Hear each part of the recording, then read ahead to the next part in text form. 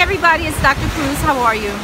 I want to talk to you real quick about uh, verbal abuse.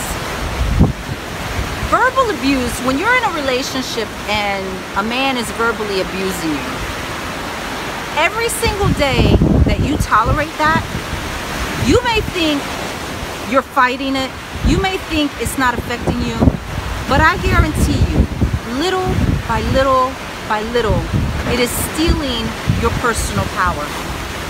With every insult, with every negative word, it's getting planted in here, whether you realize it or not.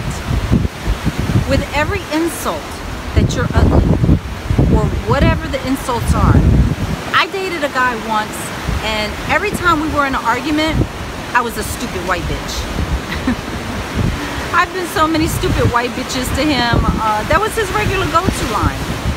And with each insult, he stole my power.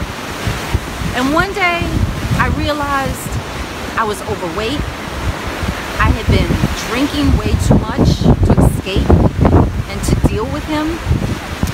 I was embarrassed because we couldn't have any friends because we were constantly arguing. And my personality was that I didn't back down. So if I'm a stupid white bitch, guess what he was? He was gonna be a dead ass motherfucker because that was my attitude. I was gonna go for you. But what I didn't realize was that I was hurting myself. Why was I trying to argue and fight with a grown ass man? I wasn't thinking right. And so I just want to encourage you all. Don't stay there. Get out of the abusive situation. Because, you know, healthy relationships are supposed to be about the person investing in the betterment of you. They're supposed to worry about your best interests and have your best interests at heart. So if you're a stupid bitch or if you're whatever it is that they call us, because we know what it is, right?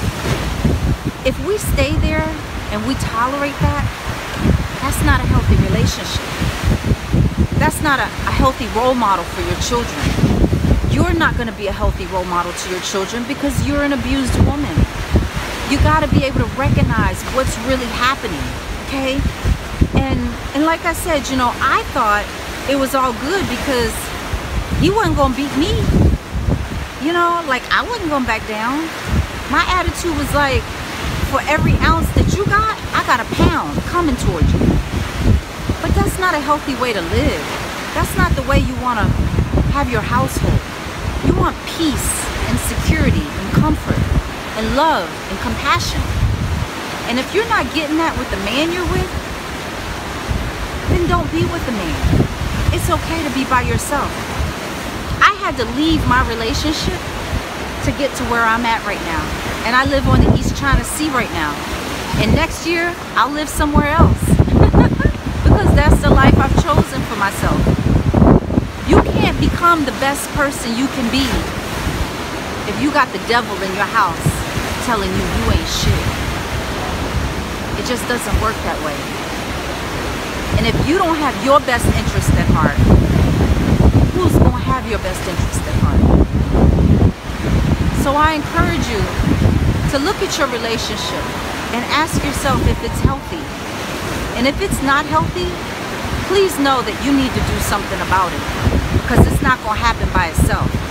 And if he's insulting you and abusing you verbally or physically, I guarantee you he's not going to be the person to improve your life. You have to be the person who improves your life. This is Dr. Cruz, and this is what Healing Out Loud is all about.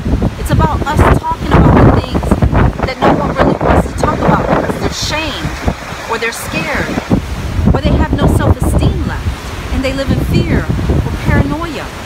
All of these things come from a healthy, uh, unhealthy environment. And that's what an abusive relationship is. It's unhealthy. It doesn't matter how you twist it, it doesn't matter how you explain it, rationalize it, excuse it. It's unhealthy. And you cannot be healthy from anything that's unhealthy. It just doesn't work that way. So this is Dr. Cruz. And until next time, figure it out. This is your life. This is your mind and your body and your soul. And nobody has the right to deteriorate that or to demean it or to weaken it or to abuse it. Nobody. Nobody at all. You have to love yourself enough to know when it's time to go. And it just might be time to go. You have to decide that for yourself. Or else you can't get to the East China Sea. or whatever that is for your own life.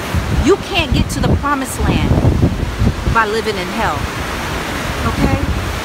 So take a look at the ocean. Isn't that beautiful? I love it out here. It's freaking awesome. It goes on forever and ever. Usually there's a nice sunset, but I guess not tonight. All right, guys. I'll talk to you soon. Bye-bye.